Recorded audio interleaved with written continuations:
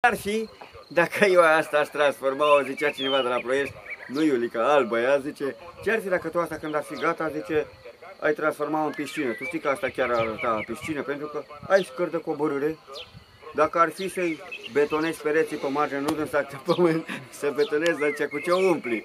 Zice că asta intră mult cu baș la apă în ea, pentru că gândiți-vă că am măsurat-o eu, are 6 metri jumate lungime, așa, aproape 7.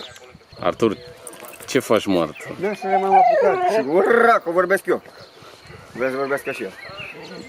În urma unui, unei vizite a unui prieten din Ploiești, că a mai venit cu ani de zile în urmă, nea Iulică, așa să trăiască, să, fie, să, să fie sănătos. E doar un prieten, nu? Sau un E fan? prieten, un prieten și fan. Prieten, așa. Mi-a venit la mine, cu întreagă să vadă cum a făcut casa asta nouă, că el a fost plecat în străinătate. Zice, băi, să știi că îmi place, a ieșit bine, ai aranjat-o ca lumea, zice. Dar zice, groapa asta, băi, eu nu știu ce, tu ai renunțat prea ușor, zice la ea. Zice, dacă o făceai pe asta și aranjată frumos, zice, și cu pereți de USB și cu izolație în jos, tu zice, o domnei iarna aici, gândește-te că sub pământ e cald, tu ai renunțat prea ușor, mai ales că aveai scări acolo, ei făcută special, zice. Nu e o groapă oarecare care o faci tu acum să stați să scări, zice. Nu știu, zice, eu să fiu locul tău, m-aș, refa, m-aș apuca de nou. Și Ramon aceea, zice, bă, ce poate că are dreptate. Măcar că o ținem, zice, ca un subsol, așa, la casă. Zice, și tot e ceva. Zice, ai muncit atâta timp până acum, zice, și acum, zice, nici n-avei cu ce să astupăm, dar nici înainte nu mai dăm. A, nu, nu mai aveai cu ce, nu mai aveai pământ, Nu, că l-ai dar folosit pământul acolo. l-ai nivelat. Da, ai nivelat acolo până la... Și zice, eu zic să te apuci înapoi. Și asta, deci am făcut doar într-o zi. Să zic, o jumătate de zi am săpat. Stai așa, te-ai reapucat, asta e ideea, nu? M-am Te-ai- reapucat, te-ai reapucat nu? de... Dar nu, nu de acolo de unde am băgat gunoaiele, că îmi vine greu să iau de acolo. Și acum lucrăm, lucrăm altfel. Am zis, mă apuc aici, mă las în jos până la dâncimea aia care am fost acolo, după aia de jos, de aici o iau încolo pe sub, pe sub gunoi și scot tot afară. Ce gunoi și alea le ard, păișurile și alea le ard, ce e de ars ard, ce nu, le dau la ăștia la gunoi, pentru că tot am contract cu gunoi, nu? Și așa nu am place. nu am place, că am auzit că firma se schimbă acum de salubrizarea. O să schimbi astea de gunoi cum le schimbi pe alea de cablu, nu? Firmele. Nu, ce că se schimbă cu totul. A, cu noi totul? Din sat. Uh, nu știu, de faliment ăștia am Dacă, pe gheață. dacă nu o luăm clasic, îți faci tu firma ta de gunoi, tragi... Da, Uite, ăsta este gunoiul, uite, ăsta e cu gunoiul. Așa, și bun. M-am apucat să sap. Așa că vorbesc eu, am zis, nu fi băgat. Te-ai reapucat. M-am S-a- reapucat să sap. Bun, și ai dat drumul iar la treabă. Reapucându-mă, am dat automat de cărămida asta de aici, vedeți, aici a fost peretele, așa. Deci, practic, exact cum vă povesteam și rândurile, că până aici a fost beciul, uite. Ăsta a fost peretele, se vede cărămida, aici. Deci am ieșit în afara beciului cu... Dați mă! Am ieșit cu o jumătate de metru, cu un metru chiar am ieșit în afara beciului, în lateral, încoace, înspre curte. Și aici, în partea asta spre drum, am dat de, de pietrele astea și chiar mă gândeam, mă, ce-o fi astea? Păi mi-am adus aminte, stai un pic că beciul până aici a fost. Ăsta a fost peretele. Deci de-aia sunt ele numai până aceea, că până pleacă așa. Că așa a fost beciul. Încoace n-a fost beci, de-aia nu sunt cărămizi. Și acum eu trebuie să... Și pământul ăsta l-ai scos doar de aici? Tot Doar de ăsta? aici am scos pământul ăsta, care e. Și cu pământul ăsta ghiți ce fac? Îl bagi înapoi. nu, nu, o să iau o roabă, o să strâng mult, mult pământ aici, din nou, o să iau o roabă și o să-l car acolo, în grădină, să-l încep să fac un plutură, să vină nivelul de acolo. Să sal terenul acolo, că de fiecare dată când plouă mult torențial, acolo băltește apa, Ah, să strânge apă și atunci se ridic terenul mai sus și acolo. n-ar fi rău. Un saci de astea de rafie, cum am zis noi odată, pe marginea ca dig, cum am făcut acolo. Și o să nivelez grădina exact cum este aici, așa o să apară în grădină, o să apară altfel, nivelat așa frumoasă. Da?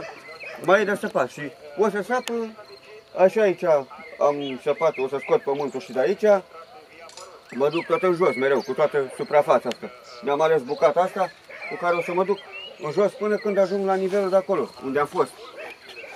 Când ajung la nivelul de acolo, după aia o iau, o iau încolo și scot gunoaiele de acolo și liberez și încolo e doar gunoi, nu mai e pământul. Da, întreb și eu acum, n-ar fi o idee să scoți asta prima dată și pe aia să E continui? mai greu de scos așa. E mai ca greu. Să te apuci din mijloc să începi să scoți.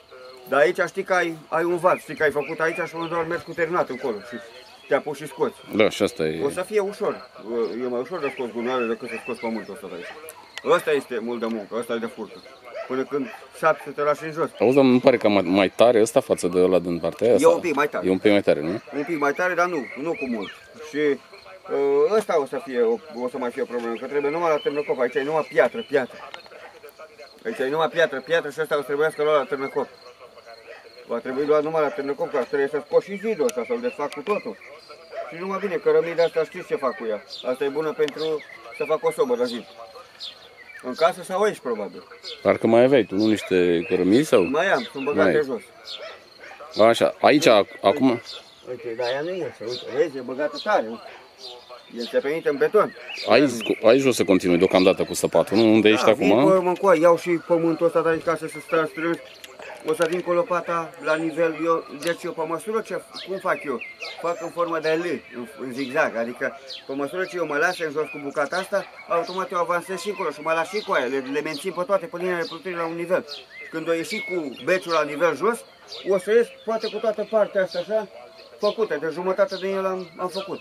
Ar mai fi pe urmă de scos gunoiul de acolo și de săpat porțiunea asta aici, că trebuie și pe asta să, să fac toată la fel.